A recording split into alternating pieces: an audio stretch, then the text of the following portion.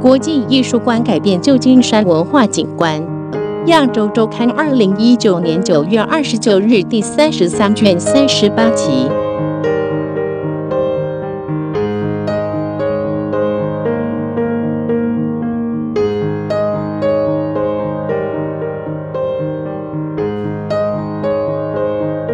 亚洲周刊二零一九年九月二十九日第三十三卷三十八期。张之泽，美国国际艺术馆坐落于旧金山中心区，馆内陈列三十多位世界级东西方艺术家的精品。经过八年革新，成为旧金山新的艺术文化地标。H H 第三十多节枪佛运雕作品一柱擎天在馆内展出，吸引全球不少修行者专门到场静坐和观想。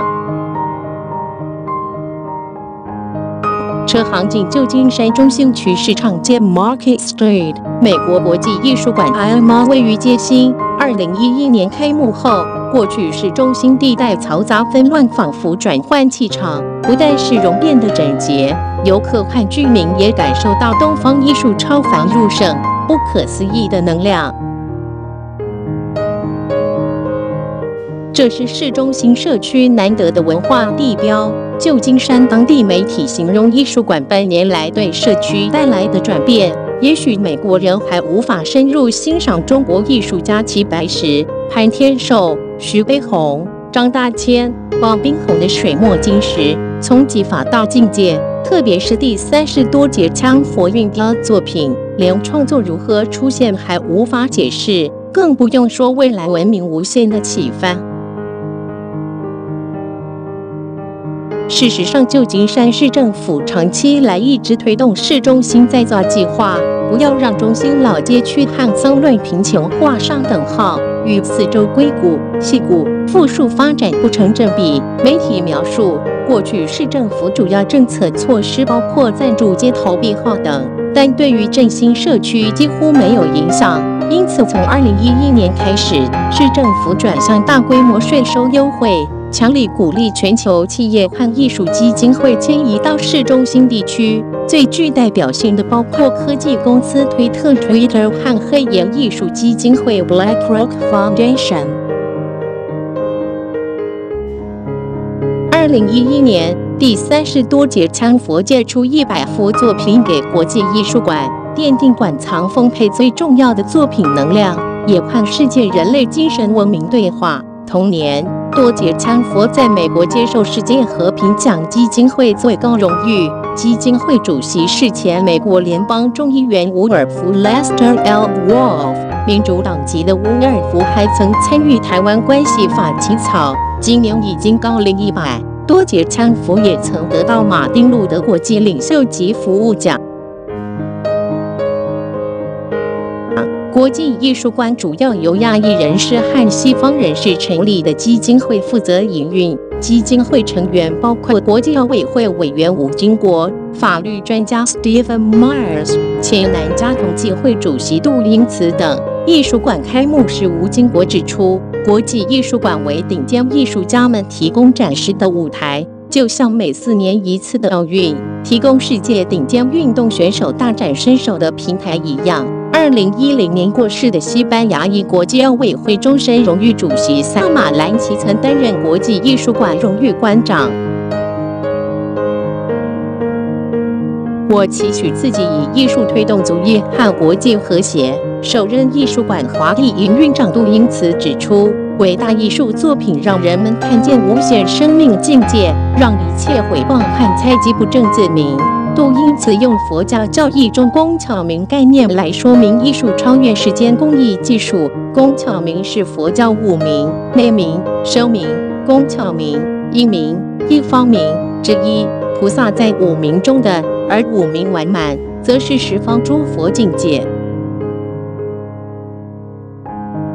杜因此于台湾辅仁大学毕业，考上二零一九九二九二零一九九。二九亚洲周刊二零一九年九月二十九日 PDF 亚洲周刊二零一九年九月二十九日 PDF 公费留学到美国深造。他认为艺术各种具象抽象技法，最终还是为了提升无形精神境界。如前中央研究院院长胡适形容佛教经典为《摩诘经》是最美的佛典文学。佛法是无形的，却以文学形式流传于世；而伪《摩诘居士》则是净土经历如来化身有形。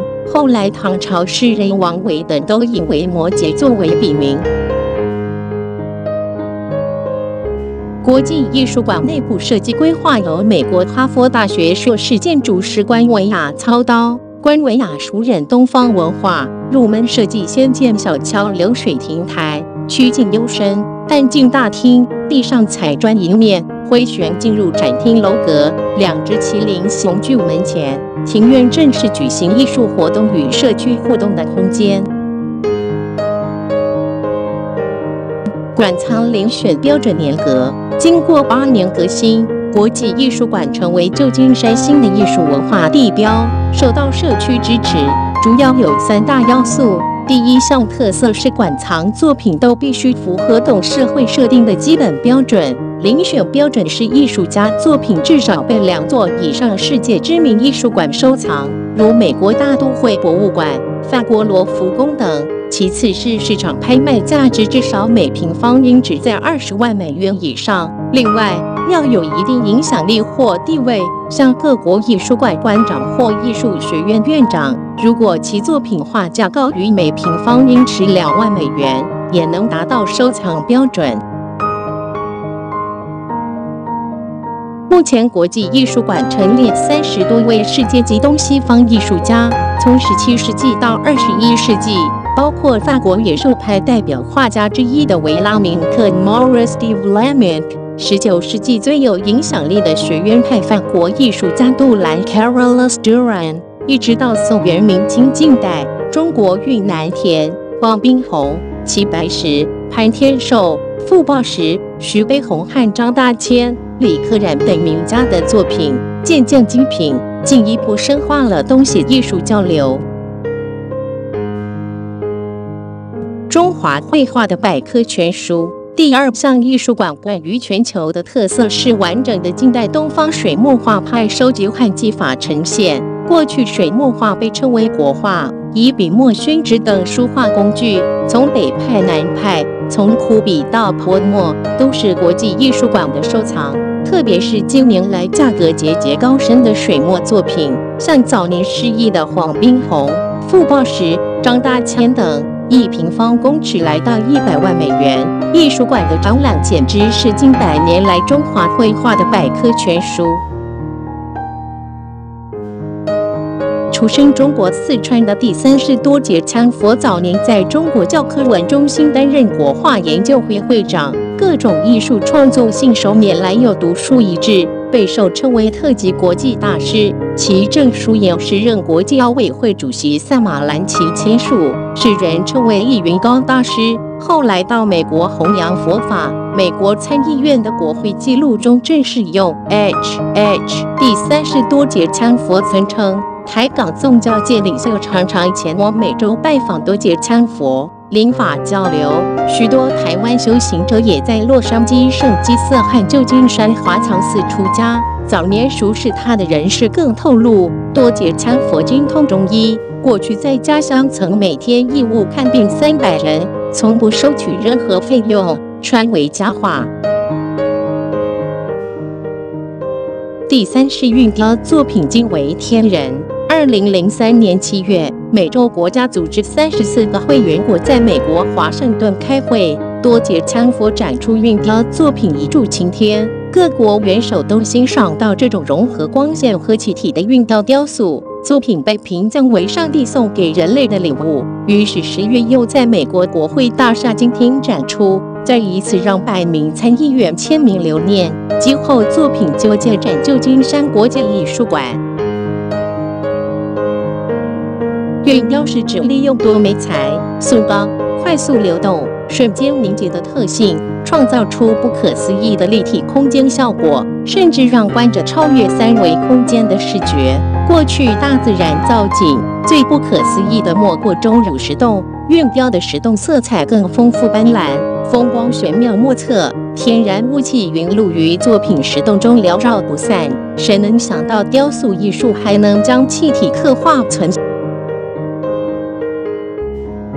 形，如同一柱擎天之间高两公尺的物理结构，如何撑起繁复多变的刀工？一层一层深入的色彩层次，又是如何前后着色入手？仅凭几公尺的空间，又是如何开做出深不见底的幽谷？种种谜团，用鬼斧神工也难形容。杜因此用工巧明说明，作品不只是创作，更是新造的一种艺术形式。创作者不愿透露技法是常见的艺界惯例，但是二十年过去，中外同业仍无法找出一套说法和共识，相当罕见。就像名画之前，很多人流连忘返，现已有许多修行者专门跑到运雕作品前静坐和观想。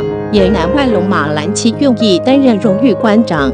他最大成就之一是完成奥林匹克博物馆，使奥运成为文化宝藏。而雕塑是馆内最重要艺术，因为奥运前远古希腊的雕塑九成以上都是体育主题。奥林匹克博物馆的收藏从兵马俑到罗丹雕塑都有，但运雕的精妙，连龙马兰奇也前所未见。第三十多节枪幅已不再创作，更鲜少公开露面。美国国际艺术馆为了彰显艺术原创性，也避免无谓的毁谤，因此和国际佛教僧尼总会、第三十多节参佛基金会、圣格讲堂等决定共同宣布蓝台议政实施办法，面向全球人士征求一柱擎天的复制。兰台典故起源汉代御史朔方兰台，象征客观信实保存记录。如果复制出相同作品无误，可得到高达五千万美元奖金。从二零零三年开始，许多现代艺术家也跃跃欲试。近十年来，现代科技发展日前越异，加上三 D 列印。但多年过去了，别说复制，连创作制造方式都众说纷纭。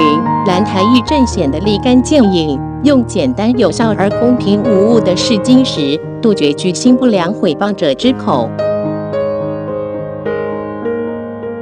从印证到超越，这是艺术馆成功立足旧金山关键。英国皇家艺术学院教授菲利普。经 Philip King 二零零四年担任院士协会主席 President 最后一年，与院长 Keeper Brandon Neal 就特别前往华盛顿的英国驻美国大使馆，代表学院颁授 Fellowship 荣衔与证书给第三十多节枪佛。以艺术家、宗教领袖受到主流社会肯定。第三是多节枪佛最特别的是，完全不接受任何赞助，佛教称供养，这是当今宗教界罕见现象。而国际艺术馆在以运雕作品的话题性，带动多元文化的对话，不同技法正量的策展模式。从这个角度来看，东方艺术对城市生活的影响。是用最宽广的艺术交流来超越宗教，也协助人们从艺术探索生命无限可能的去向。党 H H 第三十多节参佛，美国国际艺术馆 i m o n e 的东方展品。H 第三十多节枪佛运雕作品一柱擎天，To i m a 提供。国际艺术馆的室内设计有浓厚的东方文化气息。艺术馆华丽营运长度因此